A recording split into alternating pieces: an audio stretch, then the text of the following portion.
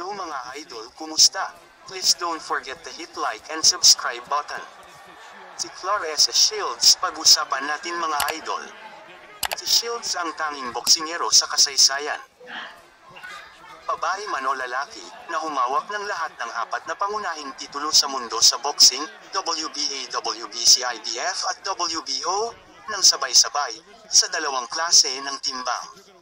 Ang light middleweight at middleweight division. Halika at sabay-sabay natin panoorin ang kanyang unang laban kung saan ay napakahusay niya. And she's 21, Cruz is 29. A little bit of a height advantage for Shields, a little bit of a reach advantage for Cruz. Of course, they know each other's style well. Shields owns a win over Cruz on her way here. All right, their professional debuts tonight. The ring announcer, Jake And now, fight fans from the T-Mobile Arena here in Las Vegas, Nevada, we bring you a special attraction scheduled for four two-minute rounds featuring the super middleweights. Our judges will be Bert Clements, John McKay, and Ricardo Ocasio. Our referee in charge of this bout, Russell Mora. Introducing first, fighting out of the black corner. She entered the ring wearing purple, black, and silver, and she weighed in at 168 pounds. Tonight, fans, she makes her professional debut. From Baltimore, Maryland, please welcome Franchon Cruz. And her opponent across the ring, fighting out of the red corner. She's wearing white and gold, and she weighed in at 167 pounds. She was a highly decorated amateur boxer, including world amateur champion and a two-time U.S. Olympic gold medal winner. Tonight, making her professional debut from Flint, Michigan, introducing Clarissa T-Rex Shields.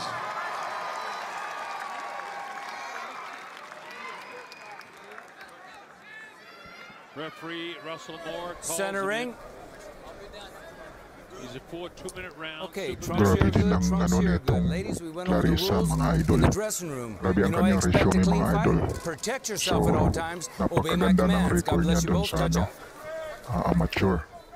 So dalawang beses siyang nanalo out in the, uh, ng gold medal in the sa uh, Olympic. white, gold, and in the purple, black, and silver is Franchon Cruz. Here we go, mga idol. Back, back na. Ayan. Yun, no? uh, Grabe mga idol. No? see. Papak, parang mga manok mga idol. No? Pag grabe. Ah, yes, pa. Has. Grabe kung kumikig mga idol. Parang mga manok. Mga baguhan lang to mga idol. Pareho sila mga debut fighter. A little bit more beefy than uh, is uh, uh, Yan, agresibo si ano mga idol. Agresibo yung kalaban ni Shields. But this is just throw your ears back and let fly. This is an amateur style boxing. Boy, look at the hand speed of Shields, though, huh? Yep, uh, the jab gets there, the right hand gets there. Wala, bakbakan. Ayan, pang. Boy, I see what they mean when they say a technical fighter. Gets the jab out there, with the right hand, gets it right back right away here. This is a round one of the Grabe mga idol yung lumaban parang mga hindi baguhan mga idol. Parang mga veterans na rin. A lot of similarities in how they fight, and uh, and she's got backing now. As she talked about the fact that uh, she didn't think there was a lot of attention being given to the Olympics, so she wanted more endorsements. Of nag-initiate ng ano mga idol. Unang nag-initiate yung kalaban ni Shields mga idol. Yung undercut yung ano, buhok niya mga idol. You know, really brought women's boxing to the forefront and it continued on to the career of Layla Ali. And it's been kind of dormant since, although there's some nice female fighters around. One, uh, Layla Mercado, who lives right in this town in Las Vegas. Clarissa Shields. Mas malaki ang katawan ng kalaban ni Shields mga. Go hands free. Stop. a lot Let go. Let go. These are fighters.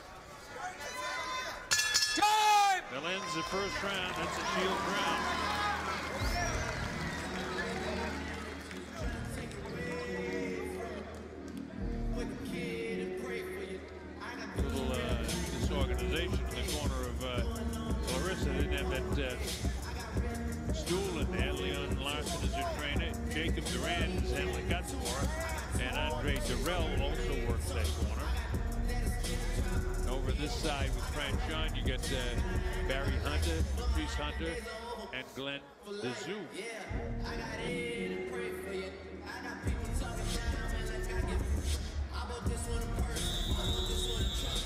Good right hand there by Shields, and then she steps back, and she would find more openings.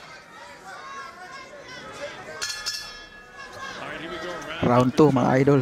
Tignan natin ang round 2. Ayan mga idol. Yan, grabe. Mga paspasero mga idol. O, parang mga pag... Ah, pag yun. Walang, walang knockdown mga idol. Tulak yun mga idol. Tulak. Pang, pang. Ah, grabe. Her.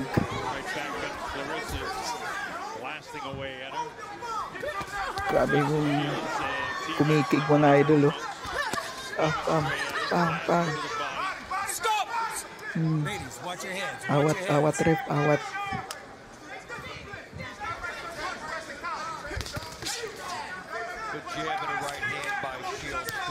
Bang. Parehong marunong mga idol kahit mga baguhan. Hmm. Bang.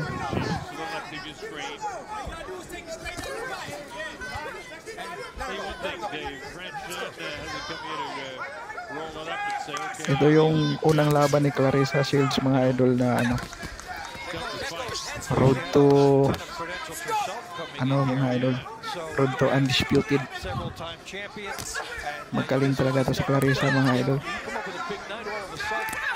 Sa labing dalawang ay sa labing apat na laban niya mga idol.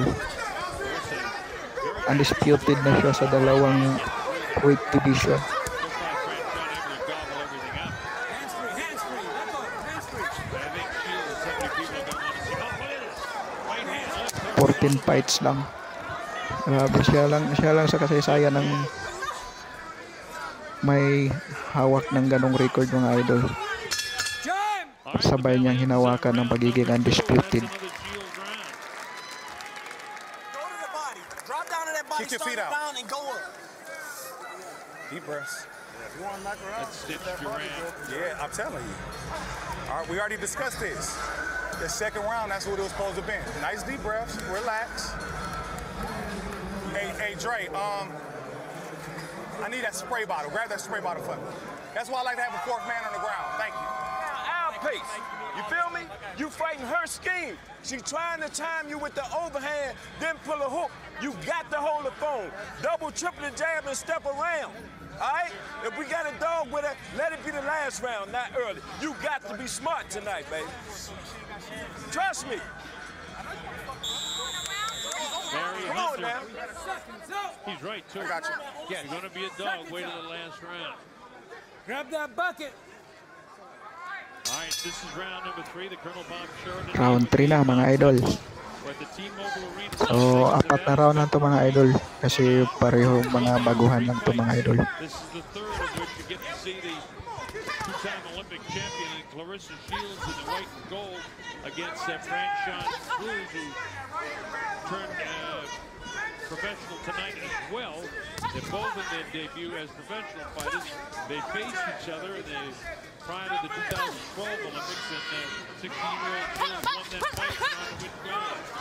You don't usually see for a first fight uh, somebody coming out the Olympics to have such a tough contest, somebody who is an elite level member like yourself. But you know, the thing is, uh, Dave, I think that they wanted to showcase, knowing this was going to be on uh, television around the world, that they wanted to showcase her to get the interest up for Shields on a, on a fight of this magnitude. Even though she's not on the main card, this telecast right now that we're doing has been seen by literally hundreds of millions of people around the world. There's a lot of backing for her. In fact, uh, Mark Taffet, one of the major HBO executives, who was a kingmaker in his time now, is a co-manager for Shields, and he said tonight, I, picked up a laundry, I did this. I, I'm now doing these other chores. He's of building her to see how to momentum.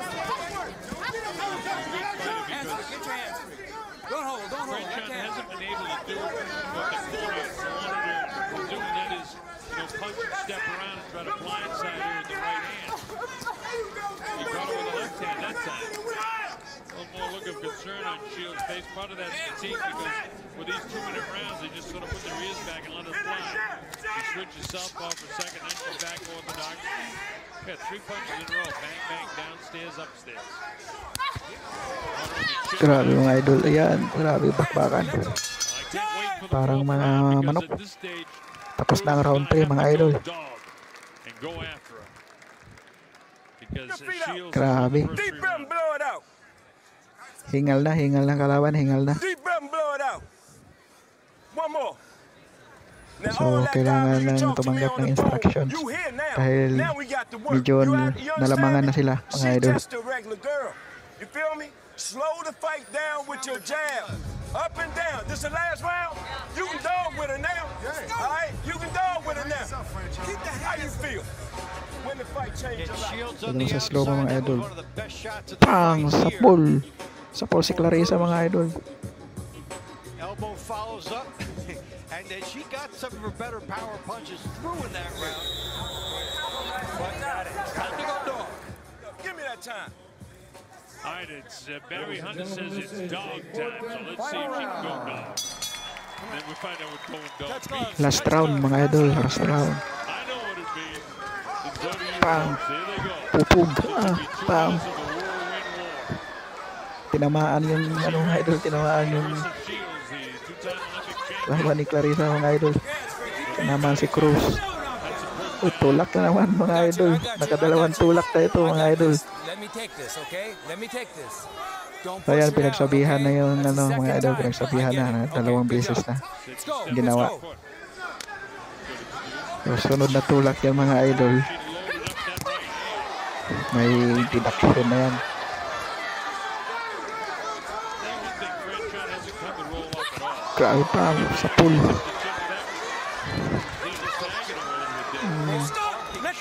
coming in from Shields. Awat, awat rep. Pag. Pagod na mga idol, pagod na. Mm.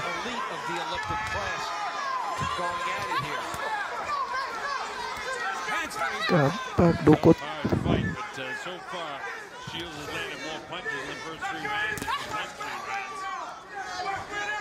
45 seconds to go in this fight. It's a four rounder. Boom. Bugs up in. Bugs Bugs Bugs Bugs.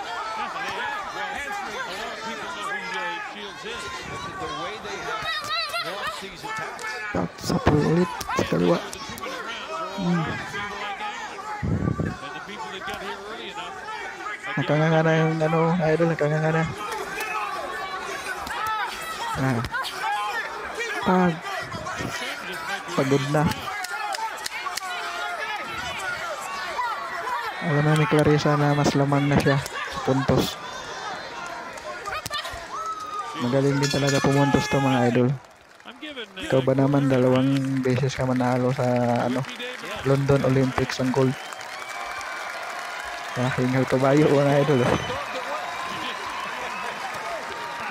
That score 39-37 favored Shields. And people in attendance, a lot of people on their feet and, uh, and rewarding the two ladies for putting on a very good fight. Remember, this was their professional debut, but they didn't fight like two women in professional debuts. They, and why would they? Because they're two of the most active amateur fighters in, in boxing around the world. And this was the time Franchon gave the fight.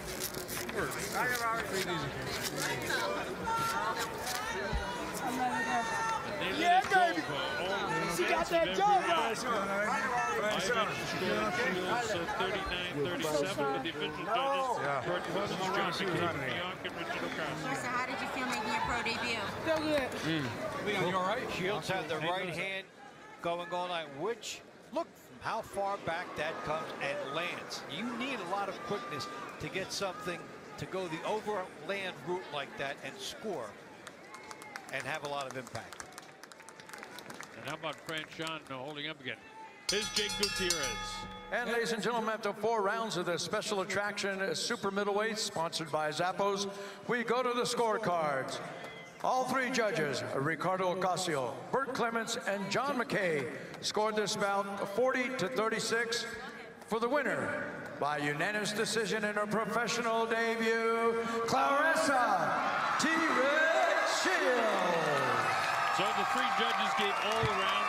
So yun lang mga idol, maraming salamat mga idol sa panonood. Please don't forget to subscribe mga idol and hit notification bell. So maraming salamat sa inyong mga idol sa panonood mga idol. Hanggang sa muli mga idol.